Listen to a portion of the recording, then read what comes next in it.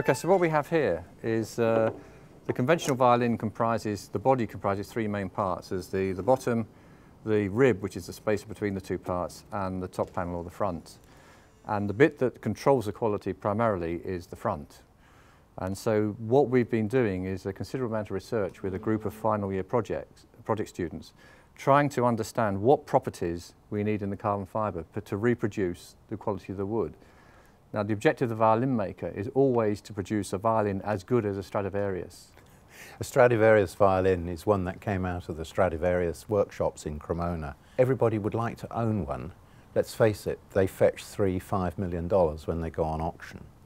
They sound good.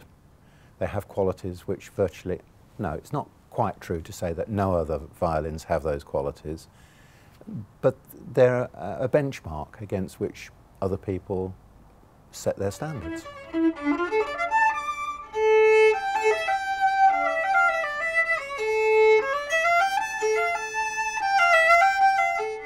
Well, Peter came to us with the idea of going carbon fibre for a number of reasons. The first is that uh, the violin, the, the, components are extremely fragile. I, am not a violinist. I, I, can play the flute fairly competently, but not the fiddle.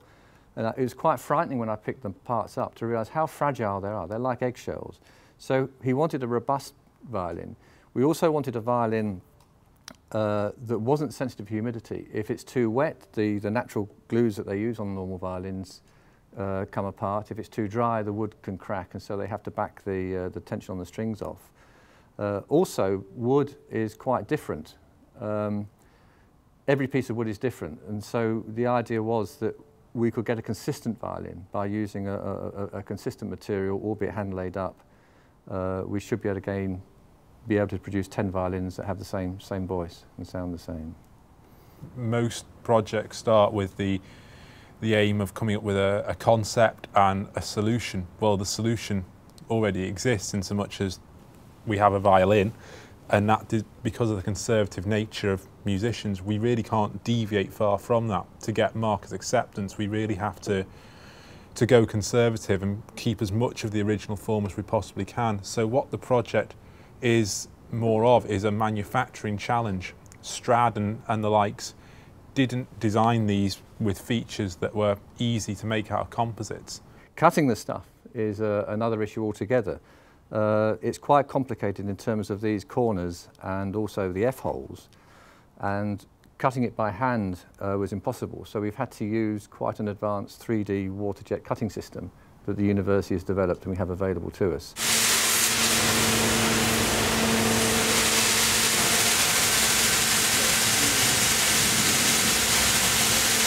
The problem is to get the definition of these corners, you can see it goes to a, an, a finite point. Um, making that out of composites is, is no easy challenge. And when you're looking at the mould here, essentially we want to pull this out when it's been manufactured, but the angles are all conflicting with each other. So as you pull it out from there, you're pulling in there. So to get it out with a suitable surface finish has been a real, real challenge.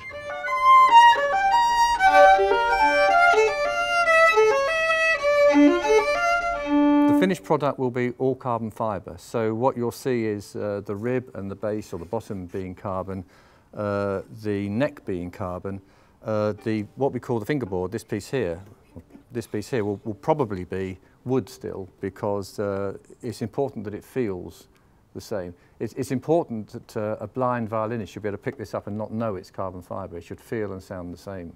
So measurements from here to here and from here to here are essentially the standard setup.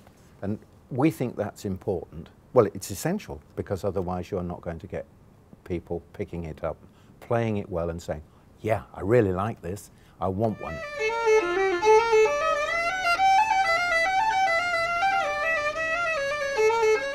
So that's the objective, is to produce a robust and consistent fiddle. And one can't deny the fact that carbon fibre always looks rather nice.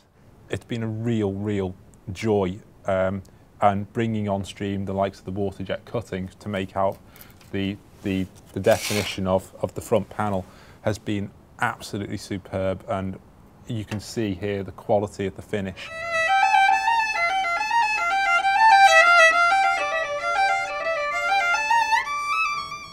I'm very surprised at the sound. It's of much better quality than our first one. I do think there's room for improvement. But th this is trial and error. There are no formula, there are no secret formulas for this, any more than there were secret formulas for uh, the Strad violins. You can't get away from the fact that carbon fibre has the sort of Formula One aerospace image, and people love it. Uh, and uh, I, have actually shown this already to uh, uh, a young relative of mine who runs a rock band, and he basically said, "Don't don't worry what it sounds like. You'll have one." So it has a carbon. Uh, there is a carbon effect in there.